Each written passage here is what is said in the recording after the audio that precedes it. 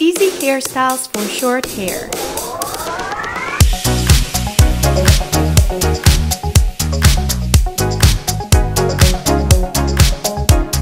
For option number one, you want to take a section of hair, wrap it around your fingers, bring them down the opposite direction, pass the ends through the loop, and that way you'll create a knot. Now you want to secure that one in place with a hairpin, and you can move on to the following section. Take another section of hair, wrap it around your fingers, bring them down the opposite direction, pass the ends through the loop, and you have your second knot. Quick tip, if you stick your bobby pins under your knots as I'm doing here, they won't show and the look will be a lot neater. Next up, you want to do a third knot following the same steps as you did before.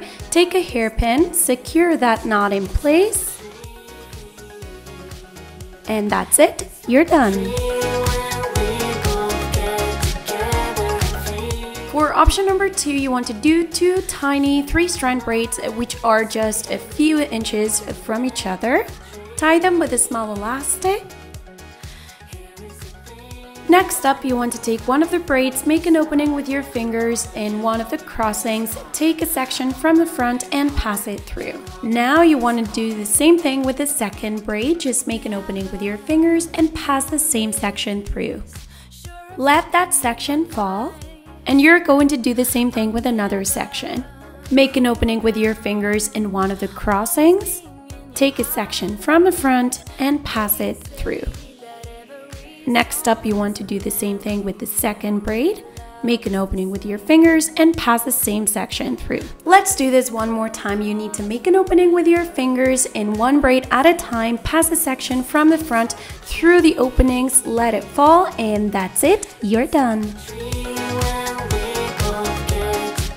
For option number three, you need to part your hair on one side and do two tiny ponytails. For this, you want to take a comb and draw two equal sized squares so the two ponytails will look exactly the same.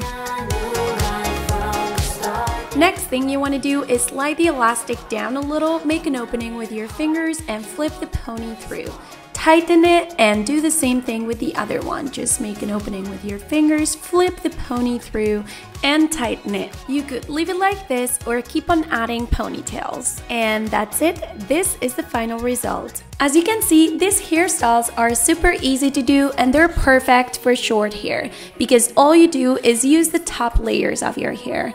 So if you enjoyed this video, please give it a thumbs up and leave your comments down below.